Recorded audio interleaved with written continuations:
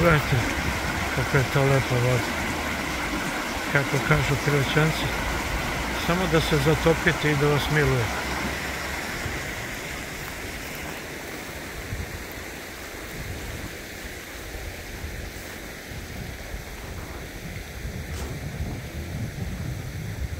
Evo ovo je sad mirno.